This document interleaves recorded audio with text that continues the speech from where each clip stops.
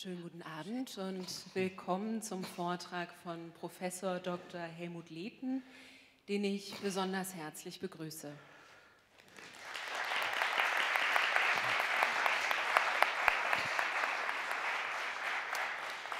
Es ist uns eine große Freude und Ehre, dass Sie Ihr neues Buch Der Schatten des Fotografen, Bilder und ihre Wirklichkeit hier bei uns im Fotomuseum Westlicht präsentieren.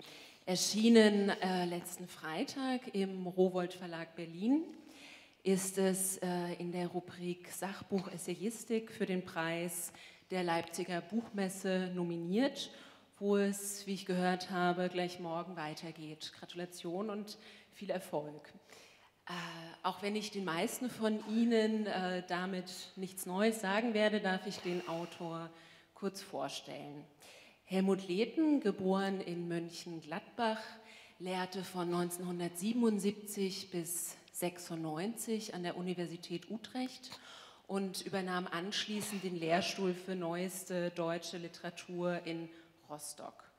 Seit 2007 leitet er das IFK, das äh, Internationale Forschungszentrum Kulturwissenschaften hier in Wien. Aber nun zu unserer heutigen Reise, an deren Ende Sie eingeladen sind, Fragen zu stellen, zu diskutieren und äh, sich das Buch auch gerne signieren zu lassen. Bitte schön.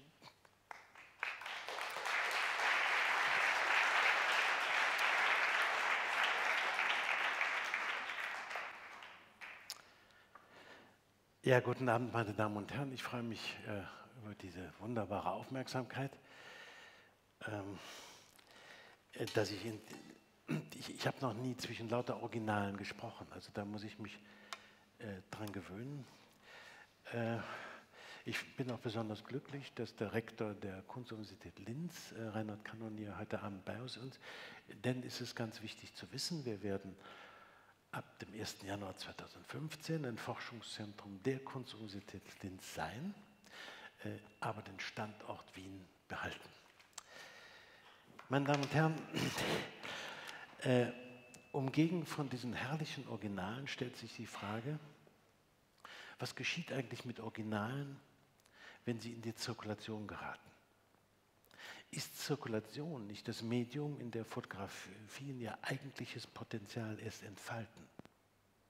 Als schwarz-weiße Rechtecke der Wirklichkeit entrissen? Kommen sie in Medien, werden sie massenhaft verbreitet und finden da eigentlich ist ihr Recht.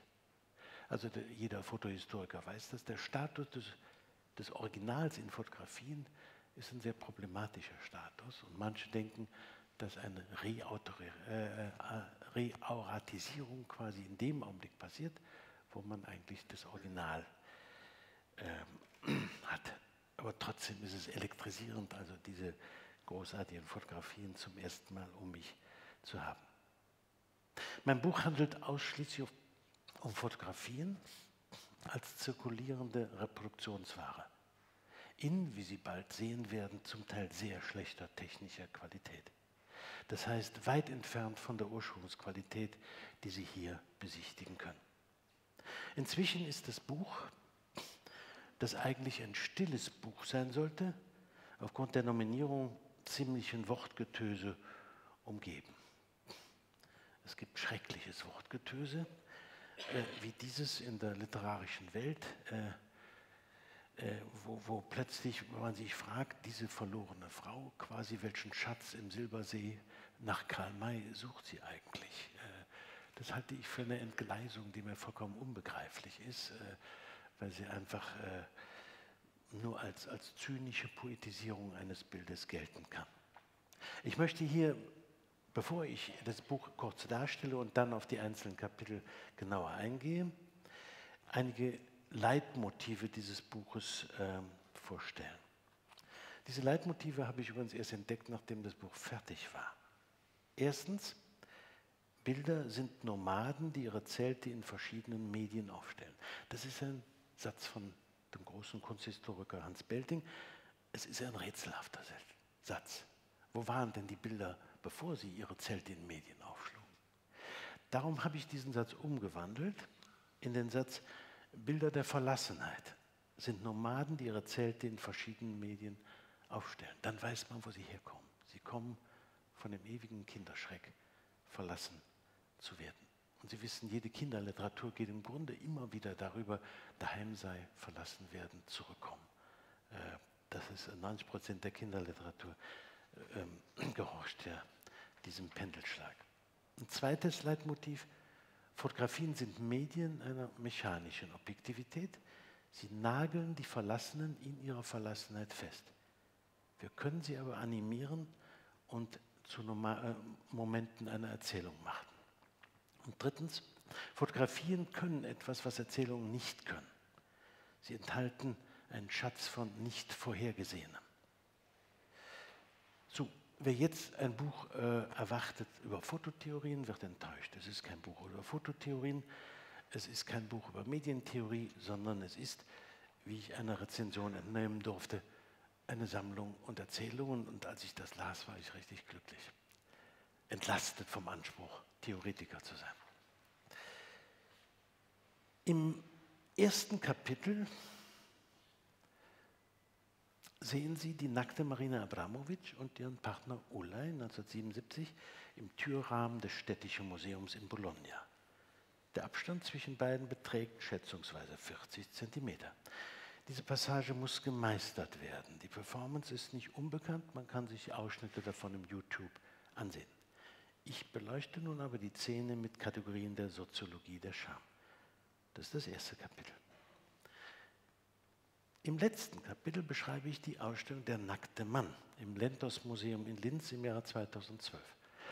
Die Kuratorinnen haben zur Begrüßung das großformatige Bild der Bodybuilder von Selko ins Treppenhaus gehängt. Das Genital, wie Sie sehen, fehlt. Es erscheint schwarz-weiß auf einem Fernsehschirm. Was will man mehr? Man kann sich nach dieser Skizze des Anfangs- und Schlusskapitels nicht des Eindrucks erwehren, dass das Buch sich um die Attraktion des Netzhautsexes kreiert. Netzhautsex ist ein Terminus, den die Filmwissenschaftlerin Gertrud Koch einmal geprägt hat, allerdings in Beziehung zum pornografischen Kino. Ansonsten bilden die Gegenstände des Buchs keinen Grund zur Heiterkeit. Man sieht im Kapitel Robert Kappas Landung im Labor das berühmte Invasionsfoto, auf dem der Sozialarbeiter Edward aus Atlanta im aufgepatschten Salzwasser vor der Küste der Normandie ums Leben, ums Überleben kämpft. Ein anderes Kapitel dreht sich um den, um den Schrei eines verlassenen Kindes, in Rossellinis neorealistischem Film Paisa im Licht von Sigrid Krakauers Filmtheorie. Danach lenke ich die Aufmerksamkeit auf die Farbdias von Kleiderbündeln auf weißem Sand, der Propagandafotograf der deutschen Wehrmacht in einer Schlucht in der Nähe von Kiew nach der Mordnacht machte. Dann ein Schnitt, den ich selbst als sehr makaber empfinde, im zehnten Kapitel die Beschreibung einer Ausstellung über sowjetische Unterwäsche, die im Jahre 2003 im Wiener Volkskundemuseum in der Lauderngasse zu sehen war. Auffällig an diesem Buch ist der abrupte Wechsel der Beschreibung von hellen Fotooberflächen zu dunklen Schriftarchiven. Dieser Wechsel gibt dem Cover des Buchs eine Dramatik, die dem Augenschein verborgen bleiben muss. Eine Flusslandschaft an einem sonnigen Tag. Eine Frau mit hellem Kopftuch und gerafftem Rock wartet dem nahen Ufer zu. Die Bewegung der Wartenden hat einen leichten Wellengang hervorgerufen. Fast grelles, seitlich einfallendes Sonnenlicht wirft einen scharfen Schlagschatten. Schlagschatten. Eine idyllische Situation, ein Malersujet. Nach Art der Kunsthistorie könnten wir die Diagonalen der Bewegungsrichtung der Frau und ihres Schattens beschreiben. Es hat doch sicher fotografische Vorbildung. Hier in der Ausstellung sah ich zufällig von Eisenstedt dieses Foto, also das ist von 1927 von Eisenstedt. Man, äh, aus der Bauhaus fotografiert sieht man sehr oft, dass Frauen aus dieser Perspektive aufgenommen werden. Auch als Unterlage für Meditationsübungen eignet sich das Bild. Ein junger Philosoph und Altphilologe, Jakob Moser, der im Augenblick bei uns Junior Fellow ist, äh, studierte das Bild und erzählte mir von der antiken Erzählung des Hyginus, der im zweiten Jahrhundert nach Christus in seinen Fabulae griechische Mythen für die Römer ins Lateinische übersetzte. Darunter einen mit dem Titel Die Sorge geht über den Fluss. Heidegger habe in seiner Zeit daran erinnert und Hans Blumenberg habe sie wieder aufgegriffen. Die Sorge geht über den Fluss, um auf ein Stück tonhaltigen Lehms zu stoßen, aus dem sich das Leben formen lässt. Sie könnte doch, um auf Lehm zu stoßen, genauso gut am Fluss entlang gehen, wirft Blumenberg ein. Aber die Heldin tut es nicht. Warum steigt sie ins Wasser? Blumenberg kennt die Lösung, weil sie ihr Spiegelbild im Wasser sehen will. Die Betrachtung der Flusslandschaft kann also in sehr gelehrte Assoziationen münden und kommt darin nicht zur Ruhe. Nun, Abzüge dieses Flussfotos fanden sich in verschiedenen Fotoalben aus dem Zweiten Weltkrieg, die von der Kunsthistorikerin Petra Bob gefunden wurden. Das idyllische Motiv, berichtet sie, sei derart aus der Serie der üblichen Lanzerfotos an der Ostfrust herausgefallen, dass es ihr unheimlich geworden sei. Sie fand es insgesamt in drei Fotoalben verschiedener Lanzer. Bis sie das Foto aus einem Einsteckalbum herausnehmen konnte und, welch einfache und geniale Geste der Forscherin, die Rückseite inspizierte. Und da stand mit Tinte die Minenprobe vom Donau zum Don 1942. Die knipsenden Lanzer standen offensichtlich auf der Brücke und warteten Suspense pur, dass etwas passierte. Die Frau war als Minensuchgerät ausgewählt worden. Die Forscherin fand heraus, dass der Kommandeur des Armeegebiets angeordnet hatte, Juden oder gefangene Bannengehörige als lebende Detektoren vorangehen zu lassen. Kein Element des Fotos, kein Element des Fotos übermittelt die Todesbotschaft. Der Schrecken kommt aus dem rückwärtigen Schriftraum. Ist er einmal in die Fotooberfläche getreten, sind wir zeitlebens unfähig, das Foto nochmal unschuldig anzuschauen. Dennoch gilt Roland Barths Satz, vielleicht nur für die analoge Fotografie, von einem realen Objekt, das einmal vom Objektiv einer Kamera eingefangen wurde, sind Strahlen ausgegangen, die mich erreichen der ich hier bin. Die Fotografie des verschwundenen Wesens berührt mich wie das Licht eines Sterns. Eine Art Nabelschnur verbindet den Körper des fotografierten Gegenstandes mit meinem Blick. Das Licht ist hier, ob schon ungreifbar, doch ein körperliches Medium einer Haut, die ich mit diesem oder jener teile, die einmal fotografiert worden sind. Das ist die Magie des Fotos. Barths Satz hat, finde ich, eine zauberhafte Wirkung auf unsere Wahrnehmung, auf die Wahrnehmung der Frau in der Flusslandschaft. Im Visier der Soldaten und im Hintergrundwissen des Armeebefehls war sie als Individuum im Reich des Feindbilds und der statistischen Zahlen der Mordpraktiken der mehreren endgültig ausgelöscht worden. Der Schrecken, in dem sie verstand, bleibt. Aber die Magie des Fotos ermöglicht es zumindest, die Frau im Fluss zu, zu vergegenwärtigen, sodass uns diese namenlose Gestalt in ihrer Individualität wie das Licht eines Sterns berührt, obwohl wir ihr keinen Namen geben können. Nun, was ich hier erzähle, hat keineswegs den Segen der Kulturwissenschaft in den vergangenen Jahrzehnten, die davon ausging, dass wir über Wirklichkeit gar nichts sagen können. Medien sind vom Verdacht umgeben, sie würden Dinge verbergen, was immer auf der Bildfläche erscheint. Es stellt sich die Skepsis ein, ob das, was man sieht, nicht auch Fake, Konstruktion oder zumindest eine manipulierte Form der Wirklichkeit sei. Ein Großteil der Medienwissenschaft lebt von diesem Verdacht. Manchmal aber, und vor allem in Kriegszeiten, werden selbst die Skeptiker schwach. Sogar abgefeinte Medienzyniker wollen plötzlich wieder die Wahrheit wissen. Plötzlich traut man den Bildern der eingespannten Journalisten, verwackelt und unscharm wie denjenigen der dänischen Dogma-Filme. Man traut ihnen zu, was man den Medien generell abgesprochen hat, nämlich Bilder der Wirklichkeit zu sein. Nicht die klinischen Bilder des ersten Golfkriegs, sondern jetzt schwitzende Soldaten, erschöpfte Reporterinnen, Staub und Tränen lassen sehen, dass das Kriegshandwerk eine mörderische Strapaze ist. Zum ersten Kapitel mit dem Namen Das Portal.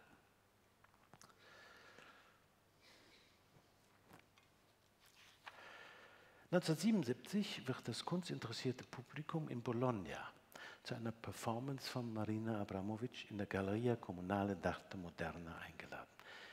Diesmal erwartet die Besucher eine befremdliche Situation.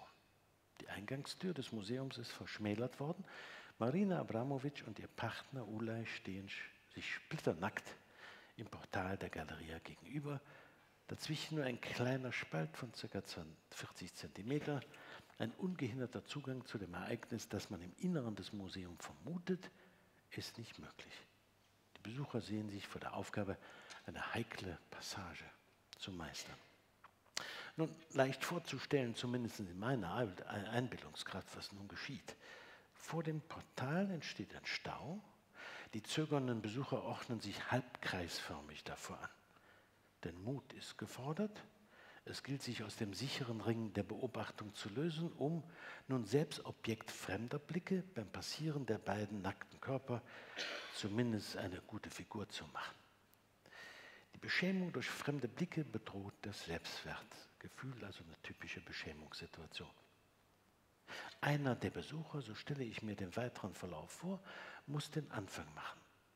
Er oder sie muss sich vom Distanzsinn des Sehens, der den restlichen Zuschauern noch eine Sicherheitszone verbirgt, trennen, um in die Zone des Tastsinns vorzudringen. Der Dunstkreis zweier Körper muss durchquert werden. dabei streift man notwendigerweise und so flüchtig wie möglich deren Haut. Vielleicht hilft die Aktentasche. Man kommt ja direkt vom Büro. Und das Ding ließe sich am langen Arm voranschicken wie ein Minensuchgerät. Ist es schicklicher, der Diva der Performance die kalte Schulter zu zeigen und sich Ulo zuzudrehen, dem man aufgrund seiner Körpergröße überhaupt nicht in die Augen blicken braucht? Oder ist es andersrum ein mutiger Blick, zumindest auf den Hals von Marina Abramovic, äh, wäre das angemessener?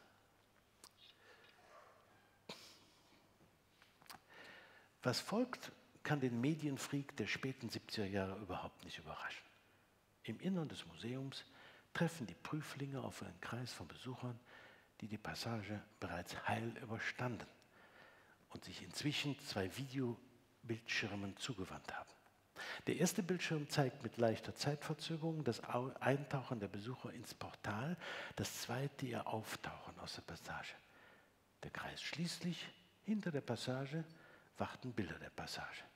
Im Innenraum flimmern die Medien, nichts dahinter, außer Medien als letzte Instanz. Erst recht spät sah ich auf YouTube, YouTube einen längeren Ausschnitt der Performance, denn bis jetzt war alles, was ich Ihnen erzählt habe, entsprang meiner Einbildungskraft und diesen Fotografien. Spät sah ich also auf YouTube einen längeren Ausschnitt der Performance in Bologna, der mir zu denken gab. Keine Isolation des Einzelnen fand statt, stattdessen ungeheures Gedrängel, in schneller Abfolge geradezu miteinander verkettet, den Kleiderkontakt mit dem Vorgänger suchend, die Berührung der nackten Körper auf kurze Augenblicken beschränkend, traten die Kunstfreaks die Flucht nach vorne an.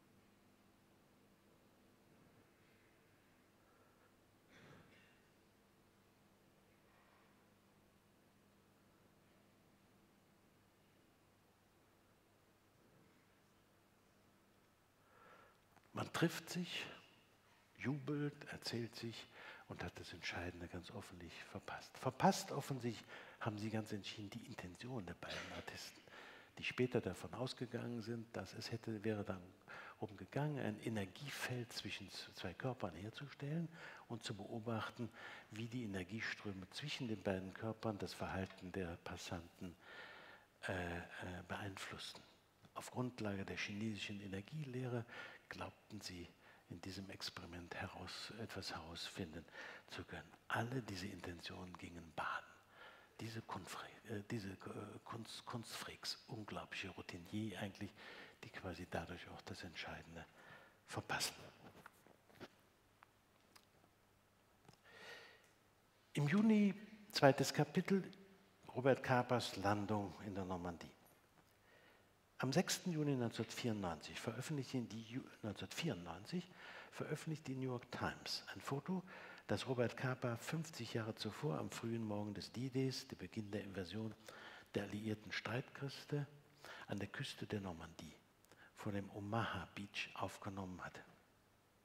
Ich hielt zu dieser Zeit ein Seminar über Kriegsfotografie in der University of Chicago und war brennend daran interessiert, welche Funktion dieses Foto das längst zu einem Geschichtszeichen geworden war, gegenwärtig in der Gedächtnispolitik der USA hatte. Die Redaktion der New York Times hatte Alan Trachtenberg, Professor für American Studies und Anglistik in Yale und durch sein Buch Reading American Photographs, Images as History, einem größeren Leserkreis bekannt. Sie hatte ihn gebeten, Kappas Foto zu kommentieren.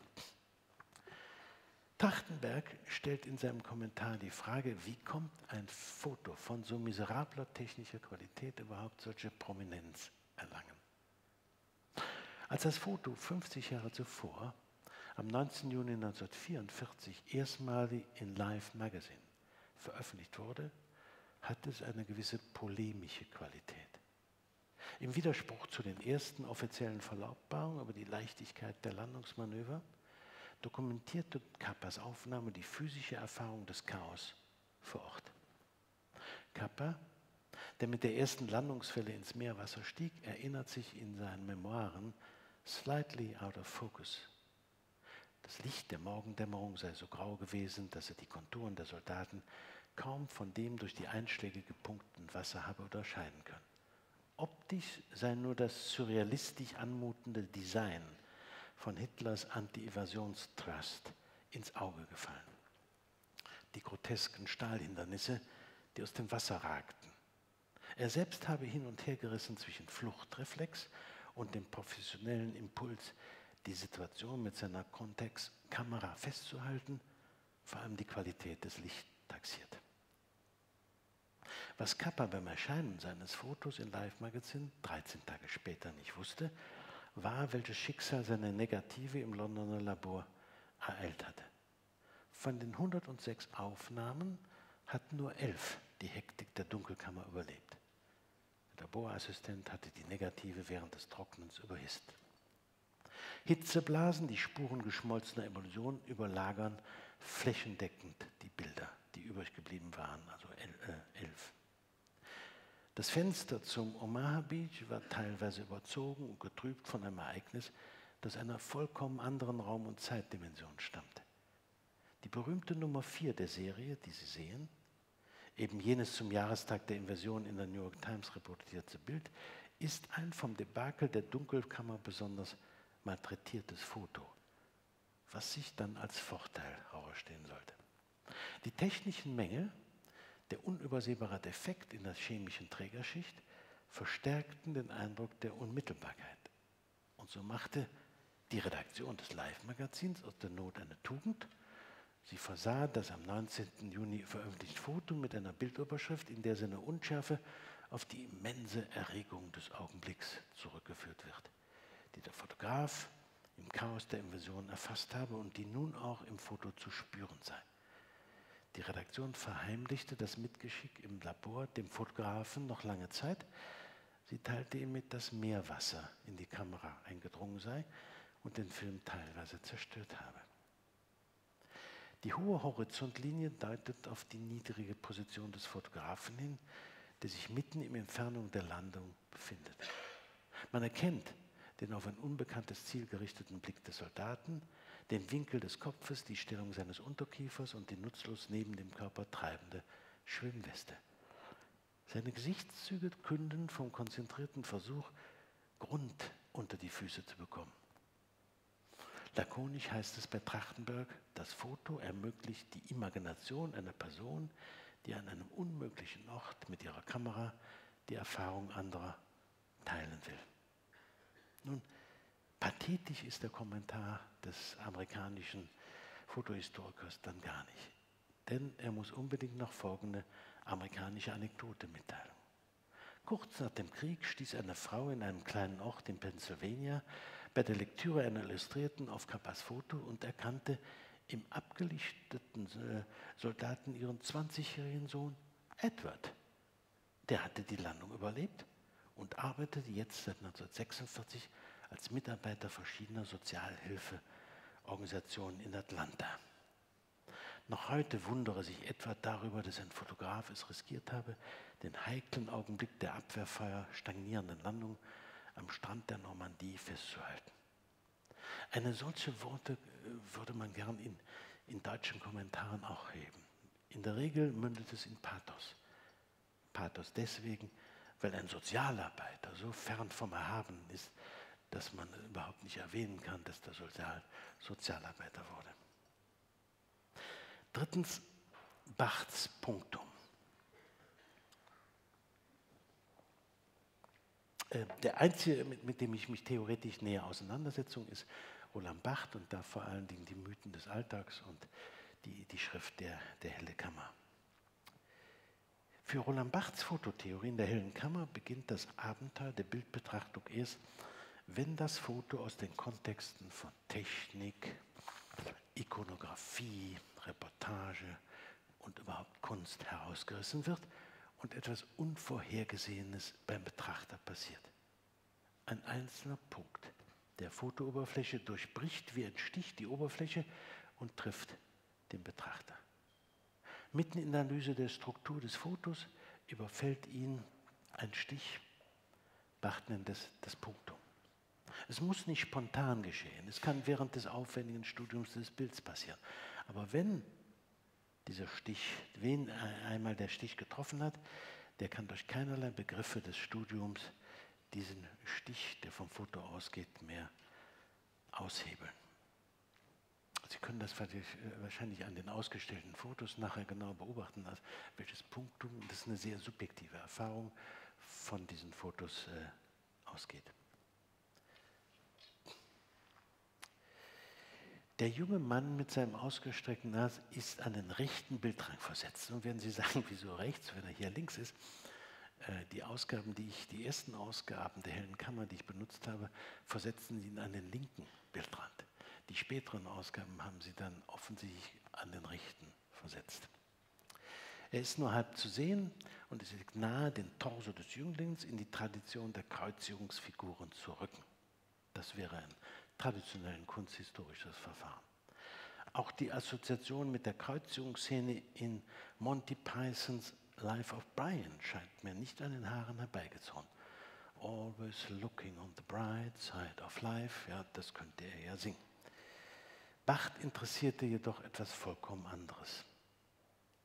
Der Fotograf haft, und darin besteht nach Bacht seine Kunst, die Hand des Junges genau in dem richtigen Grad des sich Öffnens, in der Intensität der Hingabe festgehalten.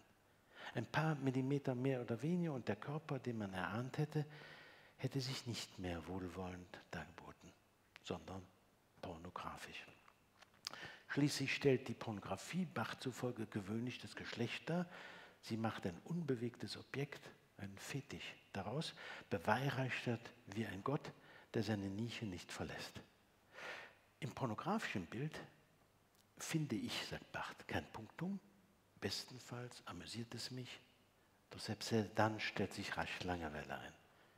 Die, Erot die erotische Fantasie hingegen macht das Geschlecht nicht zum zentralen Gegenstand.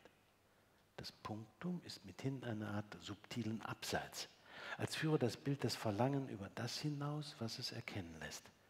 Nicht nur dem Rest der Nacktheit, nicht nur einer imaginären Praxis entgegen, sondern hin zur abstrakten Vollkommenheit eines Wesens, eines jungen Mannes, dessen Seele und Körper verschmolzen sind. Dieser junge Mann mit ausgestreckten Armen und strahlendem Lächeln verkörpert eine hart heiter Erotik, so Barth. Aber auch Mapplethorpes bildnerisches Verfahren ist raffiniert und kann im Studium begriffen werden. Auffallend vor allen Dingen der Schnitt durch Haarschopf, Augenbrauen, Backenknochen, Brustkorb und den Fingernagel des Zeigefingers, der den Kontakt zum Michelangelo-Finger abfängt. Nur in der Hand konzentriert sich für Bach die Gewissheit, die ihn besticht. Nun steht im Brennpunkt der Zeichenpraktiken, die Bach interessieren, immer die Hand. Die Zeichen, die ihn in Bann halten, lösen sich nie von der Rhythmik und der Motorik des Zeichnens. Es ist die Bewegung der linienzeichnenden Hand, die sich im Grafischen manifestiert, einen schwarz-weißen Raum öffnet, ohne sich in den Graustufen einer Fläche zu verlieren. Mapplethorpes Foto hebt das Auf- und Abschwellen der Linien in den Armpartien wie in einer künstlerischen Handzeichnung hervor. Der Nagel des Zeigefingers berührt den Rahmen, eine Geste, die besagen mag, ich, ich bin ein Bild. Vielleicht weist der Zeigefinger auch aus dem Bild hinaus. Die Wirklichkeit des dargestellten Körpers wäre andernorts zu haben. Beide Beobachtungen widersprechen Barths Beschreibung, in der Mapplethorpes Zeigefinger überhaupt nicht zeigt, sondern Verhalten zwischen einer Geste nach außen und innen stillhält.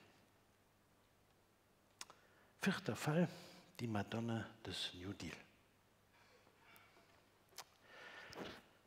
Am 3. Oktober 2008 macht zu meiner Überraschung ein anderes berühmtes Bild der Fotogeschichte wieder Schlagzeilen.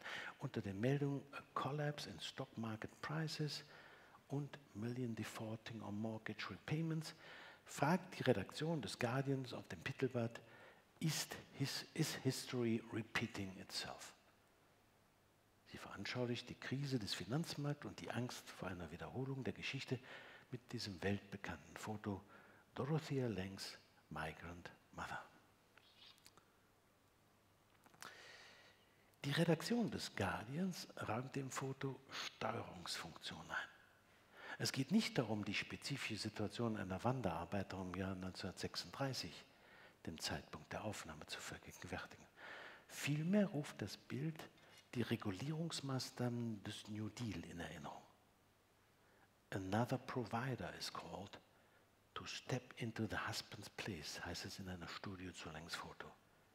Das heißt, der Vater ist weg, wir rufen den Staat. Der Versorger, von dem die hier, hier die Rede ist, soll nämlich der Staat sein. Er ist aufgerufen, in das außer Kontrolle geratene Wirtschaftsgefühl einzugreifen, so wie wir es im Jahre 2008 kennengelernt haben. Die Karriere des Fotos mit dem offiziellen Titel Migrant Mother, Naipono, California 1936, verläuft rasant. Bereits vier Tage nach der Aufnahme am 6. März 1936 werden zwei Varianten im Rahmen einer Reportage über ein Lager von Wanderarbeitern in den San Francisco News publiziert, worauf die Bundesregierung unverzüglich Nahrungsmittellieferungen in die betroffene Region veranlasst. Ein Ausschnitt des Fotos erscheint im August, wir sehen es hier in der New York Times, in der September-Ausgabe der Zeitschrift Survey Graphic mit dem Titel Dragging Around People fällt es schon eine ganze Seite. Gerahmt wird diese Geschichte von Artikeln des Ökonomieprofessors Paul Schuster-Taylor, für den die Fotografien den gleichen Rang wie statistische Daten und Befunde der empirischen Sozialforschung haben. Er hat sich bereits 1934 Dorothea Lang angeschlossen und wird sich in den kommenden Jahren auf ihre professionelle Ausrüstung Graflex und Rolleiflex verlassen. Hier sehen wir Dorothea Lang, äh, also mit einem nicht sehr handlichen äh, Foto, Fotoapparat. Äh, und hier ganz äh, auf der ganz rechten Seite sehen wir den Ökonomen Paul Schuster-Taylor. Nun, nur aufgrund von zwei Abstraktionsstätten kann Langs Foto so schnell eine zentrale Rolle in der Kampagne des New Deal Farm Security Administration spielen. Das Bild ist zunächst ein Beitrag einer empirischen Fallstudie und wird gleichzeitig zum Impulsgeber einer staatlichen Kampagne. Die Wirkung des Bildes verdankt sich einem Paradox. Es zeigt einerseits lähmende Angst und gleichzeitig, um den Impuls auszulösen, dass etwas getan werden muss. Damit erfüllt das Foto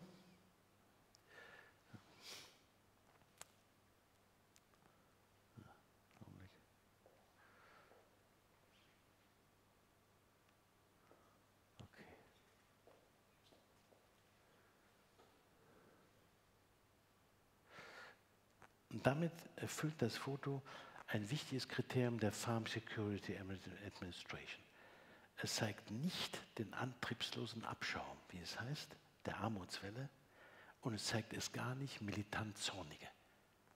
Wir werden später hören, diese Frau ist Agitatorin.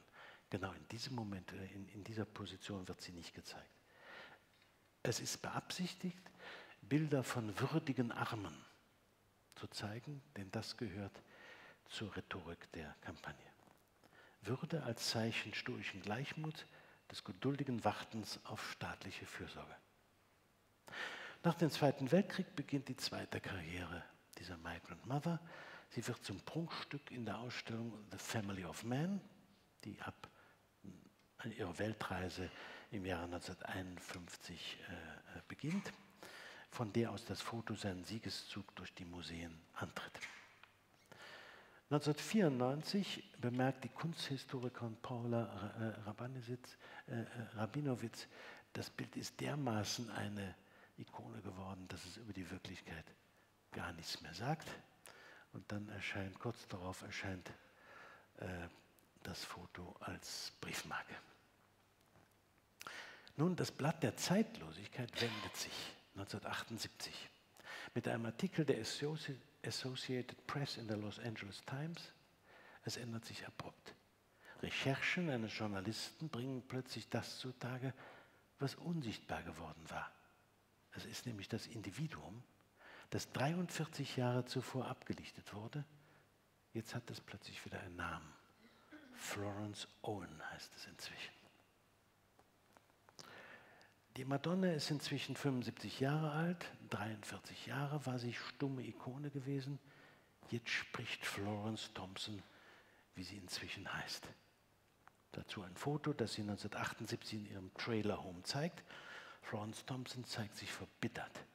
Während das Bild um die Welt reiste, blieb die Abgelichtete wie festgenagelt an ihrem sozialen Ort der Armut. Das Foto im Trailer öffnet ein, ein, Fenster zu einer verborgenen Dimension des Opfers. Die Scham der Armen, in ihrer Armut ausgestellt zu sein. Und die Gewissheit, dass es den Betrachtern des Fotos immer noch besser geht als ihr. Eine neue Wendung nimmt die Geschichte, als Florence Thompson auch nach einem Herzinfarkt wieder in die bewährte Sprachlosigkeit der Ikone verfällt. Sie hat keine Krankenversicherung, nun gelingt es ihren erwachsenen Kindern, mit Hinweisen auf das berühmte Abbild Spenden in Höhe von 35.000 Dollar aufzutreiben. Das hilft eine Weile. Florence Thompson erliegt dennoch bald dem Krebsleiden. Dorothy Lang ist 1936 offiziell Photograph Investigator der Resettlement Administration, äh, war sie.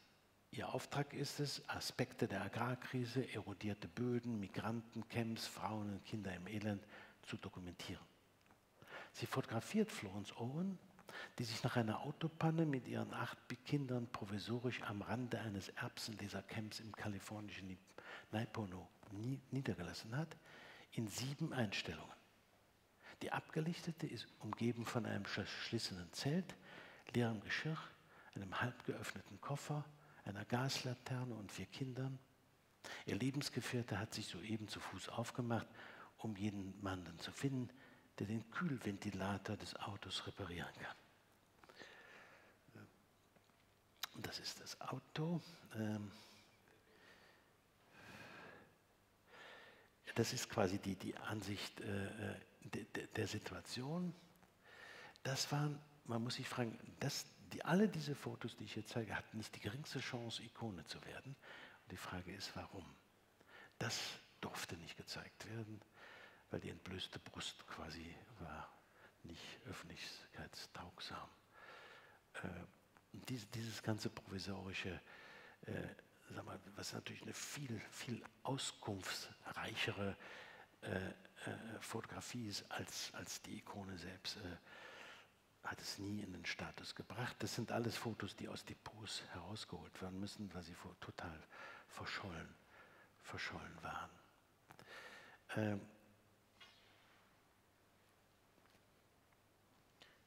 die Kunsthistoriker fragen, äh, jetzt fragen, wenn wir nochmal zurück, also die Frage, warum konnte das eine Ikone werden?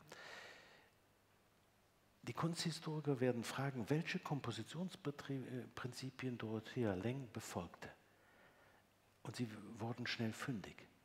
Wenn beide Augen der Porträtierten zu sehen sind, dann befindet sich in aller Regel eines auf einer vertikalen Achse, die genau durch die Bildmitte verläuft. Das ist das Gesetz der Porträtmalerei. Die Abgebildete blickt nicht nach rechts aus dem Bildraum hinaus. Die Blickrichtung von rechts nach links sorgt dafür, dass die Aufmerksamkeit des Betrachters den Bildraum nicht verlässt. Lange wählt also Konvention der Porträtmalerei folgend den Ausschnitt extrem eng, damit sind alle zufälligen Objekte aus dem Blickfeld ausgesperrt. Sie isoliert die Mutter und erst dieser Eingriff ermöglicht den appellativen Charakter des Bilds. Es zitiere, so befindet die Kunstkritik einhellig das Bildmotiv der Mütterlichkeit in der Tradition christlicher Mariendarstellung. Und das ist eine unglaublich merkwürdige Feststellung. Ein störendes Moment bleibt allerdings der Daumen rechts unten äh, am Rand, der selbst auf der retuschierten Fassung noch schwach zu erkennen ist. Zwei Jahre nach der Entstehung der Aufnahme hat die Fotografin gegen den Widerstand der Archivverantwortlichen, die den dokumentarischen Status des Bilds gefährdet sahen, eine Retusche des Daumens vorgenommen. Die amerikanische Kunsthistorikerin Sally Stein macht auf eine Merkwürdigkeit der Rezeptionsgeschichte Aufmerksamkeit. Kunsthistoriker sprachen üblicherweise von einer Pietà mit zwei verdrehten Assistenzfiguren, was ja nicht ein, Ausdruck, der nicht ohne Komik ist. Die Tradition der Marienmalerei, sagt Sally Stein, hätte allerdings erwarten lassen, dass die Augen der Mutter auf ihre Kinder oder zumindest nach unten gerichtet sind, um einen Raum unverletzlicher Intimität zu beschreiben. Die Mutter hätte den Betrachter gleichsam taxierend wahrnehmen müssen, als gelte es einen von außen kommenden Impuls abzuwehren, in die geschützte mütterliche Zone einzudringen. Die Migrant Mother dagegen scheine sich weder des Kindes auf ihrem Schoß noch seiner Geschwister um sie herum bewusst zu sein. Stein beobachtet, was jedem Betrachter ins Augen springen muss. Es fehlen alle sentimentalen Indizien, die normalerweise eine harmonische Mutter-Kind-Beziehung verbürgen. Nun schlägt die amerikanische Forscherin ein weiteres Kapitel in der Karriere der Migrant Mother auf, in dem sie eine neue Motivation erhält. Ihr fällt auf, dass Langs Archive zahlreiche Fotografien enthalten, auf denen Männer zu sehen sind, die sich mit Gesten mütterlicher Fürsorge um Kinder kümmern. Männer. Sie erkennt darin das Bestreben der Fotografin, die Stereotype der Mütterlichkeit und die Enge, die im Bildraum der Kernfamilie vorherrscht, zu sprengen. Langes Fotos zeigen der, der amerikanischen Forscherin zufolge eine starke Ambivalenz gegenüber dem Kult der Mütterlichkeit. Gut, quasi das Bild wandert jetzt in die Zone des Feminismus und erfährt eine völlig neue Bedeutung. 60 Jahre nachdem Florence Owen fotografiert worden ist, gibt es eine weitere Entdeckung. Man stößt nämlich plötzlich auf Owens ethnische Herkunft. Sie gehört zu den Native Americans, zu den Cherokesen. Das erklärt vielleicht, warum ihre Haltung oft als stoisch beschrieben wird. Es entspricht der konventionellen Wahrnehmung von Indianern. Schon etwas Curtis hat in seinen Indianerfotos Ende des 19. Jahrhunderts deren stoischen Porträtblick kultiviert. Andererseits erscheint es vor diesem Hintergrund noch seltsamer, dass Kunsthistoriker der Migrant Mannen immer nordische Züge zugeschrieben haben. Der Katalog der Getty-Ausstellung spricht von hübschen, androgynen Gesichtszügen, die in Kombination mit dem stoisch ernsten Gesichtsausdruck die universelle Ausstellung der Ikone bewirken. Ein weiterer Kommentar stellt eher lakonisch fest, dass die Porträtierte in jedem Country Club eine glänzende Figur machen würde, weil sie der Inbegriff einer hübschen Amerikanerin sei. Gleichsam das Mädchen von nebenan. Sally Stein vermutet, dass dahinter ein kosmetisches Motiv verborgen ist. Die Imagination eines Selbstbildnisses mit den höheren Wangenknochen der Indianerin nobilitiere diejenigen, die sich mit ihr identifizieren. Fünftes Kapitel der Schatten des Fotografen.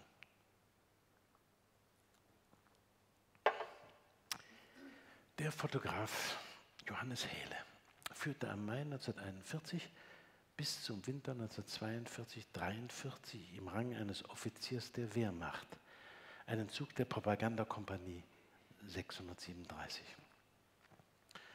Unmittelbar nach der Erschießung von 33.771 jüdischen Einwohnern der Stadt Kiew am 29. und 30. September 1941 fährt der Berufsfotograf, nachdem er das Foto vom jüdischen Friedhof, der Ecke Melnik-Offenauer Straße und der Markthalle gemacht hat, mit einem Kat oder einem Pkw, man weiß es nicht genau, direkt zur Schlucht von Babillard im Nordwesten der Stadt.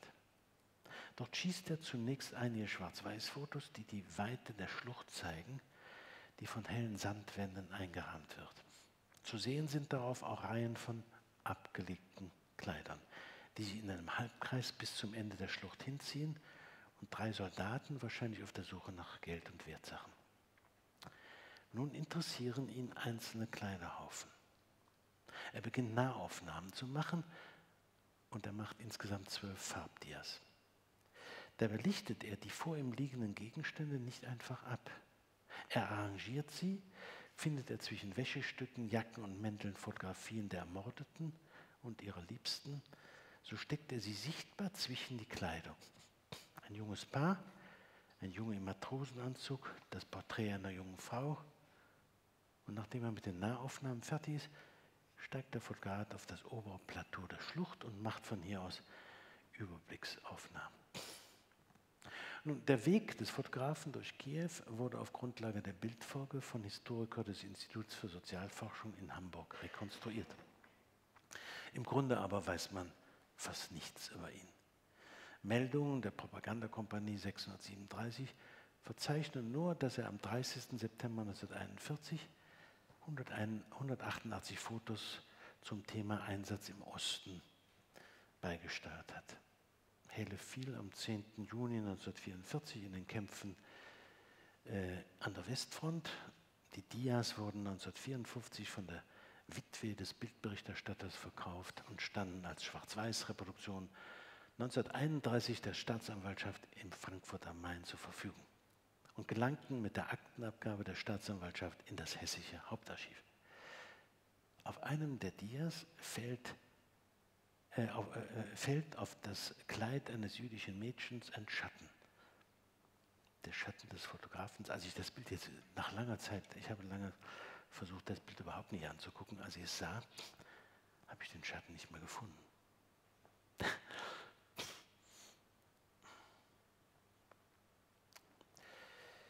Oder es ist, ist ungewiss. Der Schatten des Fotografen gehört zu einer anderen Ordnung als die abgelichteten Dinge. Er gehört nicht zu den Relikten der Toten. Der Schatten wird schwerelos weggleiten, wenn der Fotograf wieder auf sein Motorrad steigt. Er gehört nicht zur Ordnung der Familienfotos, die der Fotograf für eine Grabbeigabe zwischen die Kleider steckt, er den Schauplatz verlässt. Die, der Schatten des Fotografen ist keine schwarz ausgetuschte Fläche, die eine klare Silhouette des Mannes mit der Kamera erkennen ließe. Er legt sich nicht wie eine schwarze Decke über den Stoff der Kleider. Er ist durchaus transparent. Seine Kontur ist durch, Falten, durch die Falten der Textilien gebrochen. Mehr als diese Kontur, die nichts beweist, haben wir nicht. Der Fotograf geht seinem Handwerk nach, als ob er nur noch das Leichentuch, das sich inzwischen über den Boden der Schlucht erstreckt, ablichten wollte. Die Ereignismeldung UdSSR Nummer 106 vom 7. Oktober 1941 lässt erahnen, was sich unter diesem Leichentuch verbirgt. Zitat, in Zusammenarbeit mit dem Gruppenstabe und zwei Kommandos der Polizeiregiments Süd hat das Sonderkommando 4a am 29. und 30.09. 33.771 Juden exekutiert. Dieser Schreibmaschinentext ist schrecklicher als jedes Bild. Die anonyme Dimension der Taten, ihre Logistik und bürokratische Abhandlung kann nur in Schrift gespeichert werden. Das Grauen der Statistik auch. Das kann nicht fotografiert werden. Im Fall des Berufsfotografen einer Propagandakompanie scheint der Beweggrund hinter der fotografischen Dokumentation nicht schwer zu finden. Der Fotograf erfüllt seinen Auftrag und weiß, dass sein Apparat der vorgeschobene Posten eines Militär- und Propagandaapparats ist. Die Filme der Kriegsberichterstatter werden in der Regel sofort entwickelt. Von den kleinen Filmen werden Kontaktstreifen und von brauchbaren negativen Vergrößerungen hergestellt. Nach den Zensur unter militärischen Gesichtspunkten äh, wird mit der propagandistischen Zielrichtung entschieden, welche Vergrößerungen für den Pressegebrauch freigegeben werden sollten. Diese werden dann an Bildagenturen zur Verteilung weitergeleitet. In Berlin werden die Negative der kleinen Bildfilme positive Kontaktkopien auf Fotopapier im Streifenformat der Negative und Rückvergrößerungen in das Bildarchiv des Bildpresseamts übernommen, das in Kriegszeiten dem Oberkommando der Wehrmacht unterstellt war. Heute werden die originalen Nitrofilme aus den Kameras der Propagandakompanie Fotografen in Kühlcontainern verwahrt.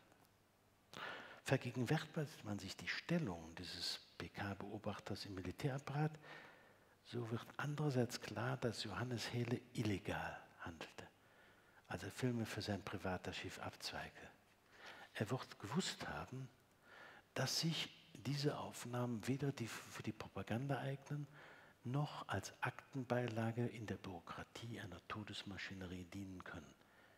Der Schatten des Fotografen vergegenwärtigt den schaurigen Rest an Handlungsspielraum, der dem Kriegsberichterstatter blieb. Sechstens sowjetische Unterwäsche. Am 22. März 2003 liest man im Wiener Standard folgende Meldung der Austria Presseagentur. Das Wiener Volkskundemuseum geht den Russen an die Wäsche. Unter dem Titel Körpergedächtnis ist ab 21. März Unterwäsche, die in Russland und der UdSR von 1917 bis 1991 hergestellt wurde bzw. dort in Gebrauch war, zu sehen. Die Boutique Gegenalltag weiß Näheres zum Ereignis. Zitat unter dem Motto Körpergedächtnis präsentiert die Boutique Gegenalltag am 20. März bis 3. August 2003 Unterwäsche einer sowjetischen Epoche. Special Guest in den Gegenalltagsboxen ein russischer Discjockey. Anschließend Wodka und Bortsch. Eintritt frei. Die Kunstzeitung Online Art Magazine erzeugt Neugier, indem sie ihre Ankündigung der Träume aus Dederon mit einem Foto aus dem Katalog der Ausstellung vorsieht, was sie vor sich haben. Die Auszüge aus der Presse demonstrieren, dass sie die Ausstellung, die in St. Petersburg und nicht in Novgorod großes Aufsehen erregt hatte, ohne Reibungsverlust in die Wiener Eventkultur integrieren lässt. Lust an Morbidität schluckt eben alles. Der Ausstellungsbesuch irritierte mich hochgradig. Ich hatte, wie gesagt, die Farbdias von den Wäschebündeln in der Schlucht von Babillard im Kopf, die in der zweiten Wehrmachtsausstellung gezeigt worden waren. Das war nun der denkbar ungünstigste Ausgangspunkt für Fragen des Körpergedächtnisses, das die Kleider in der Lauderngasse vermitteln sollten.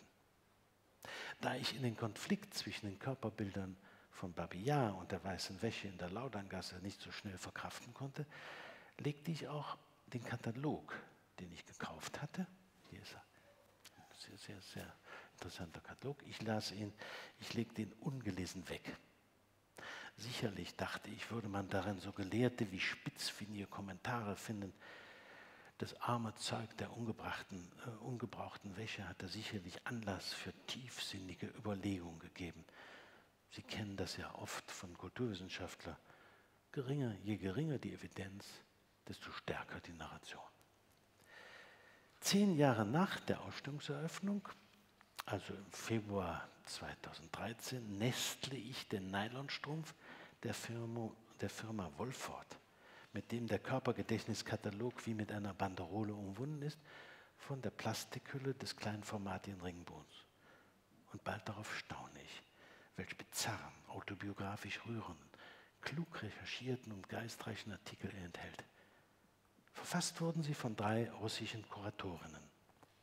Die ausgestellten Dinge sind für sie noch im Licht der frühen Sowjetunion präsent. Sie verfolgen deren Schicksal in der Phase des revolutionären Aufschwungs, in ihrer Verkettung mit der KGB-Kultur der 30er und 40er Jahre, während des Kalten Krieges und in der Ära der postsowjetischen Epoche. Ekaterina Dego erinnert an Alexander Rotschenko. Sie werden einige schöne Bilder, Fotografien von Rotschenki hier den, an den Wänden sehen. Sie erinnert an Rotschenkos Besuch in Paris im Jahr 1925. Rotschenko berichtet, dass sein Blick sofort auf die luxuriöse Warenwelt fällt. Seine Wahrnehmung wird durch das absolute Fehlen von Fremdsprachenkenntnissen erheblich verschärft. Erschlagen von der freien Zugänglichkeit der Waren will er sie nur als schwarze und düstere Sklaven gelten lassen, wird gleichzeitig magnetisch von ihnen angezogen. Der Katalog enthält äußerst detaillierte Rekonstruktionen von Fabrikationsketten der Unterwäscheherstellung. Und man trifft unversehens auf wunderbare Beispiele für die, was Ernst Bloch einmal die Gleichzeitigkeit des Ungleichzeitigen genannt hat. Damals war, wie Julia Demikenko feststellt, die Ungleichzeitigkeit hautnah. Zitat, ungeachtet aller Ideen und Moden unter den Bedingungen stillstehenden Handelns und eingestellter Produktion, trug die Bevölkerung des revolutionären Russlands weiterhin das auf, was sie hatte. Also die Matrosen der Revolution trugen teilweise noch die konfiszierten langen Generalsunterhosen aus Seide. Unter Feldbedingungen der beste Schutz gegen Läuse. Oder sie konnten noch die beschlagnahmte gebrauchte Unterwäsche bekommen, die in den Jahren zuvor während des Ersten Weltkriegs im Geschäft von Je Gottlieb verkauft wurde. Wäsche aus chinesischen Seidenstoffen, lange Wildlederunterhosen und Unterziehjacken mit Seidenärmeln, gestrickte lange Unterhosen für Kavalleristen mit dem besonderen Schnitt ohne innere Nähte. Bis in die 50er Jahre hinein, so Domitenko, besaßen viele ältere Frauen in ihren Garderoben ein komplettes Sortiment an Damenwäsche aus dem 19. Jahrhundert.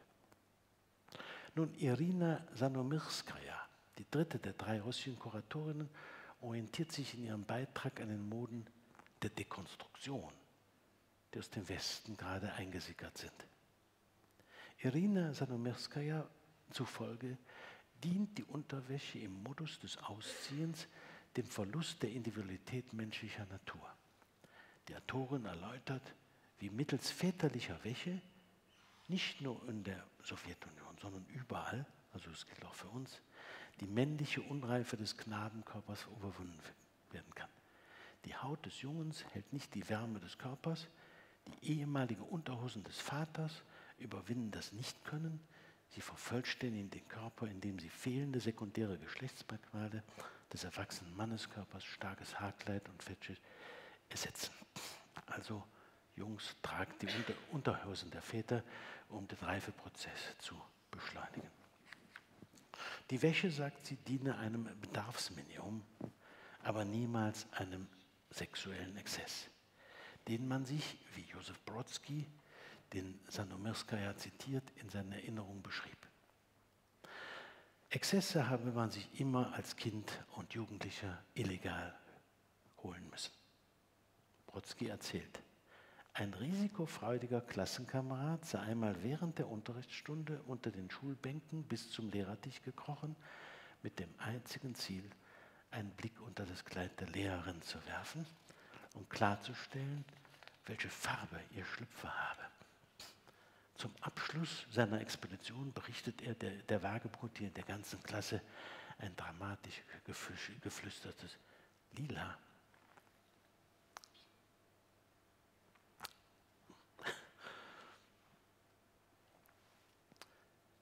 Siebtes, letztes Kapitel.